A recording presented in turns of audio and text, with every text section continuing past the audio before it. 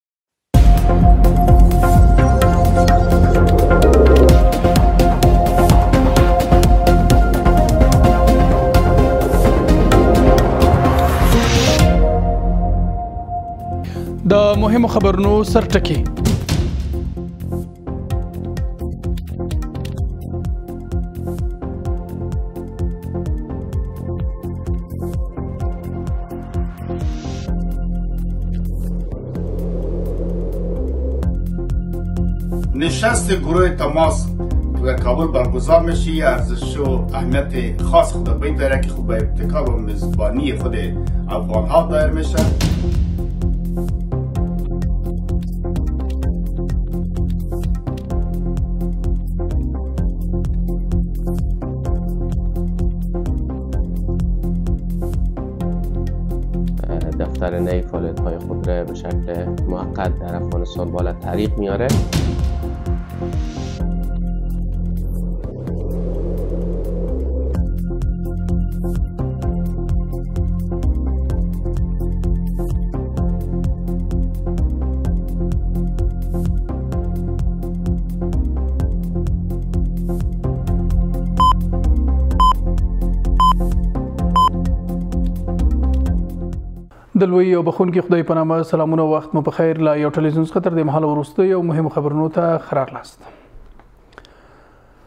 اسلامي امارت اعلان کړی چې په راتلونکو ورځو کې به د سیمایزي تماس ډلې غونډه په کابل کې جوړه شي په چین کې د افغانستان سفیر بلال کریمي د دغه واد بهرنی چارو وزارت د اسیایي څانګې لمرستیال سره په لیدنه کې د دغه غونډې د جوړېدو اعلان وکړ او دواړو لورو د دوړې ودونو ترمنځ د خوړیکو او لا زیاتو همکاریو پر پیاوړتیا خبرې وکړې ښاغلي کریمي د افغانستان او چین ترمنځ ډیپلوماټیک اړیکې یو مثبت او مهم پرمختګ وباله او د هر اړخیزو اړیکو د پیاوړتیا لپاره یې د دواړو هېوادونو پر ګډو هڅو ټینګار وکړ.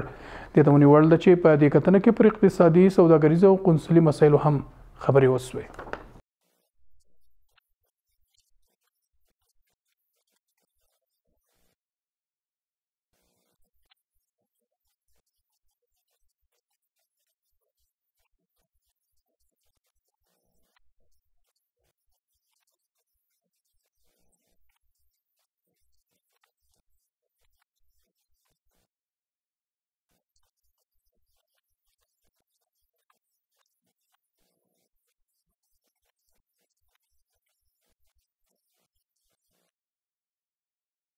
نشست گروه تماس که در کابل برگزار میشه یه ارزش و اهمیت خاص خود باید داره که خوب به ابتکار و مزبانی خود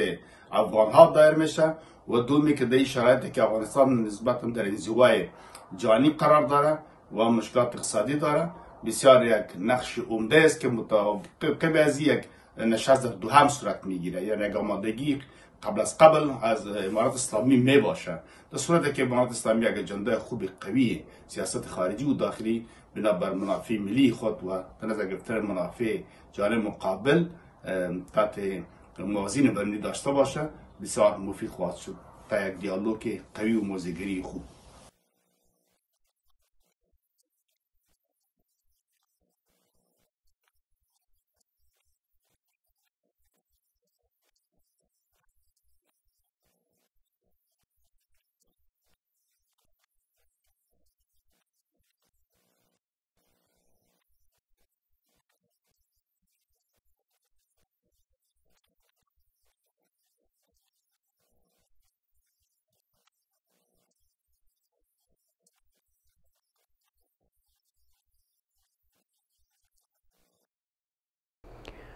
د خبريالانو نړیوال فدراسیون په افغانستان کې د رسنۍ د کارکونکو وضعیت اندېښمن کړي د سازمان په خبرپاڼه کې په افغانستان کې د رسنۍ د کارکونکو پر لپسې نیول کېدل غندلي او دای په دغه باد کې د رسنۍ د جبر دوام بللی لبل خو د فدراسیون د افغانستان د رسنۍ د سرغړونو له کمیسون څخه غوښتي چې د رسنۍ د کارکونکو د وروستیو نیول کېدو دوسیې وڅېړي. دا په داسې حال کې ده چې تېره ورځ د افغانستان د ازادو رسنیو د ملاتړ سازمان په افغانستان کې خپل فعالیت پای ته ورسوه.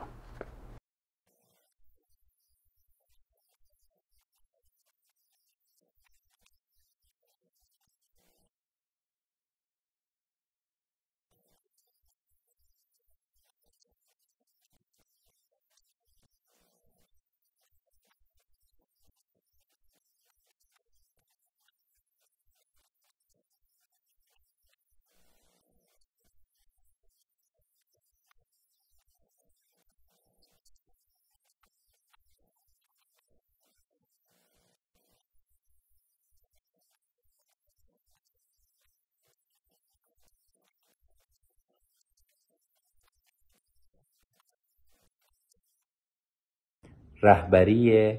دفتر نی حمایت کننده رسانه های آزاد افغانستان در آخرین نشستشان در ماه جدی سال 1402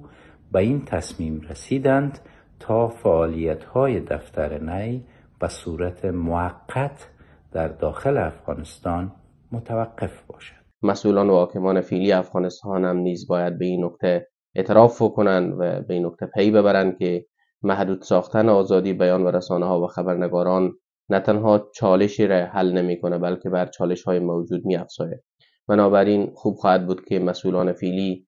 به آزادی بیان و آزادی رسانه ها حرمت قائل باشند و بر اساس قانون رسانه های همگانی افغانستان عمل بکنند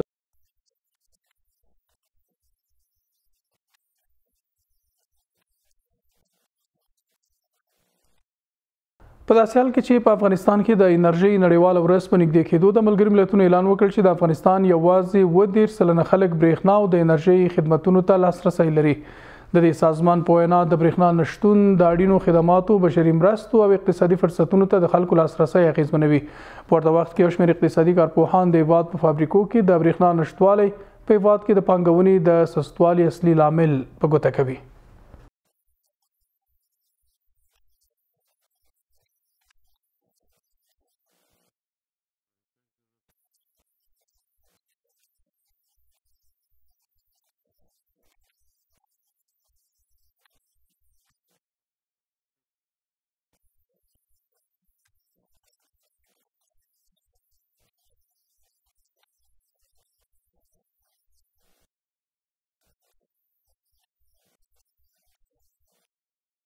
متاسفانه که هنوز هم افغانستان یک کشور متکی به واردات انرژی هست و سالانه به میلیون ها دلار ما به خاطر انرژی به بدون از کشور هزینه میکنیم و شما میفهمید که انرژی یکی از اساسی ترین نیازمندی های بشر محسوب میشه در پالی از یکی از عمده ترین عوامل تولید انرژی است متاسفانه با کمبود انرژی و نبود برق به اکثریت فابریکات ما این سبب از این شده که سرمایه گذاری ها در این بخش یک مقدار با کندی مواجه شود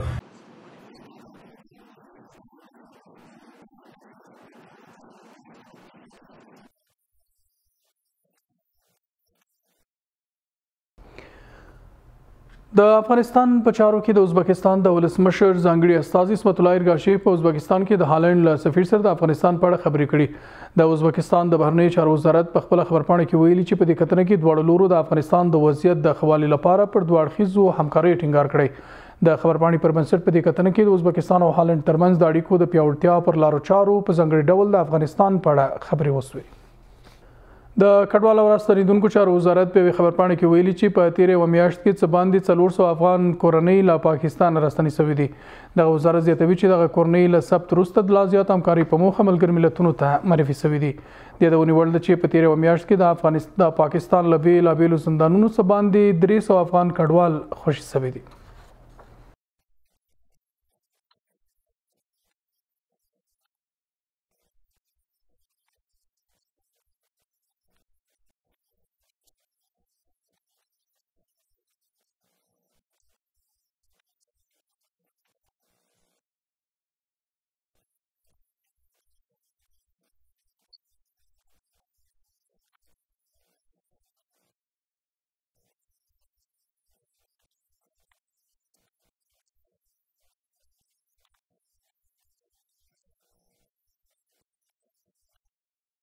که وزارت مهاجرین و بازگشت کنندگان در ماه گذشته اعلان نموده به بیشتر 305 تن از هموطنان عزیز ما که به طور غیر عادلانه بدون کدام جرم و بدون کدام حکم دادگاهی در زندانهای پاکستان به سر میبردند خوشبختانه توانستند به آغوش گرم فامیل برگردند